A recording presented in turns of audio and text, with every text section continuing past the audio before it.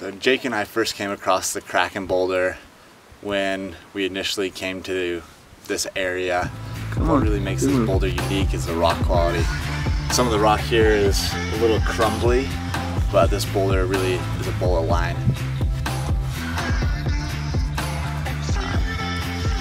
The crux of this boulder involves going off kind of this sloping hinge and half head crimp and doing a huge dead point to this flat edge.